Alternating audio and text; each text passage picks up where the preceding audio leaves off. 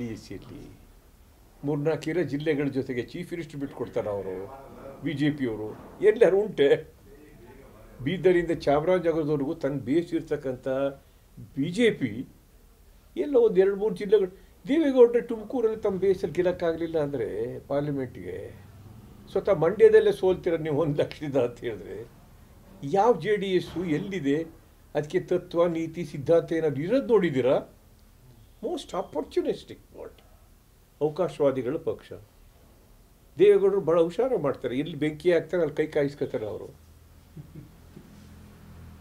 ಇವ್ರಿಗೂ ಬೇರೆ ಮಾರ್ಗ ಇಲ್ಲ ಕಾಂಗ್ರೆಸ್ಗೆ.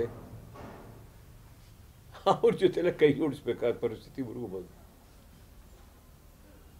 ಅದರಿಂದ ಈ ಬೆಳವಣಿಗೆಗಳಲ್ಲಿ ಬಹುಶಃ ಇದೆಲ್ಲ ಯೋಚನೆ ಮಾಡಿ ದೇವೇಗೌಡರು ಕಾಂಗ್ರೆಸ್ ಜೊತೆಯಲ್ಲಿ ಕಾಂಗ್ರೆಸ್ಸು ಭಾಳ ವೀಕ್ ಆಗ್ತಾ ಇದೆ. ಕಾಂಗ್ರೆಸ್ ಇಷ್ಟಪಡ್ತಾ ಇಲ್ಲ. ರಾಷ್ಟ್ರ ಮಟ್ಟದಲ್ಲೂ ಭಾಳ ವೀಕ್ ಆಗ್ತಾ ಇದೆ. ನಾಯಕತ್ವನೇ ಸರಿಯಾಗಿಲ್ಲ ಅಲ್ಲಿ. ಸೋನಿಯಾ ಗಾಂಧಿಯವರು ಆರೋಗ್ಯ ದೃಷ್ಟಿಯಿಂದ ಪಕ್ಷ ಬಿಟ್ಟು ಹೋದ್ಮೇಲೆ ತಕ್ಷಣದಲ್ಲಿ ಪಕ್ಷಕ್ಕೆ ಅಧ್ಯಕ್ಷರು ಮಾಡೋಕ್ಕಾಗಿರಲಿಲ್ಲ ಗೊಂದಲ ಉಂಟಾಯಿತು. ಭಾಳ ಸಮಯ ತಗೊಂಡು ಮತ್ತೆ ಅವನ್ನೇ ಕರ್ಕೋದು ರಾಹುಲ್ ಗಾಂಧಿ ಅವ್ರನ್ನೇ ಮಾಡ್ಕೊಂಡಿದ್ದಾರೆ.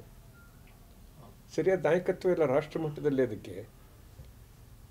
ಈಗ ನಾನು ಹೇಳಿದ್ದು ಬಿ ಜೆ ಪಿಯ ಹೈಕಮಾಂಡು ಡಿಸಿಷನ್ ತಗೋಬೇಕು ಇದಕ್ಕೆ. ಸಾಧಾರಣ ಪಕ್ಷ ಅಲ್ಲ, ಈಗ ಇವತ್ತಿನ ಪರಿಸ್ಥಿತಿಯಲ್ಲಿ ಬಹಳ ಬಲವಾದಂಥ ಒಂದು ರಾಜಕೀಯ ಪಕ್ಷ ಬಿ ಜೆ ಪಿ ರಾಷ್ಟ್ರ ಮಟ್ಟದಲ್ಲಿ, ರಾಜ್ಯ ದಕ್ಷಿಣ ಭಾರತದಲ್ಲಿ ಅದರಲ್ಲೂ ಕರ್ನಾಟಕದಲ್ಲಿ ತನ್ನ ಬೇಸ್ ಇಟ್ಕೊಂಡಿರ್ತಕ್ಕಂಥ ಪಕ್ಷ. ಅದರ ಮೇಲ್ಮಟ್ಟದ ನಾಯಕರು ಮೋದಿಯವರಾಗಲಿ ಮತ್ತೆ ಅವರು ಮೈತ್ರಿ ಅಂದರೆ ಯಾವ ರೀತಿ ಆಗಬೇಕು, ಮೈತ್ರಿಗೆ ಒಪ್ಪಿಗೆ ಕೊಡ್ತಾರ, ಯಾವ ರೀತಿ ಆಗಬೇಕು ಅನ್ನೋದನ್ನು ನನಗೆ, ನಾನು ಅದಕ್ಕೆ ಹೇಳಿದೆ ನಿಮ್ಗೆ ವಿಲೀನ ಅದು ಕಷ್ಟ ಸಾಧ್ಯ ಅನ್ನೋದನ್ನು ಹೇಳಿದೆ. ಎರಡೂ ಇದೆ ಭಾಳ ಕಷ್ಟನೂ ಇದೆ ಭಾಳ ಪ್ರಯತ್ನ ಮಾಡಿಕೊಂಡು ಅವ್ರು ಯಾವ ಕಂಡೀಷನ್ ಸಾಧ್ಯತೆಯೂ ಕೂಡ ಇದೆ. ಈ ಈ ಹಂತದಲ್ಲಿ ನಾವೇನು ಹೇಳೋಕ್ಕಾಗಲ್ಲ, ಅದು ವಿಲೀನ ಆಗತ್ತೆ, ಬಿಡುತ್ತೆ ಅಂತಕ್ಕಂಥದ್ದನ್ನು ನಮ್ಗೆ ಹೇಳಿ.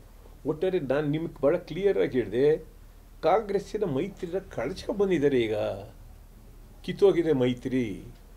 ಕಾಂಗ್ರೆಸ್ ಜೊತೆಲಿ ಅವ್ರ ಮೈತ್ರಿ ಇಲ್ಲ. ಎಷ್ಟು ಕ, ಎಷ್ಟು ದಿನ ಉಳಿತದೆ ಇದನ್ನು ನೋಡಬೇಕು. ಬಿ ಜೆ ಪಿ ಜೊತೆ ಮೈತ್ರಿ ಎಷ್ಟು ದಿನ ಉಳಿತದೆ ಕಾಂಗ್ರೆಸ್ ಜೊತೆ ಕಳಚ್ಕೊಂಡಿದ್ದು ಎಷ್ಟು ದಿನ ಮುಂದುವರಿತದೆ?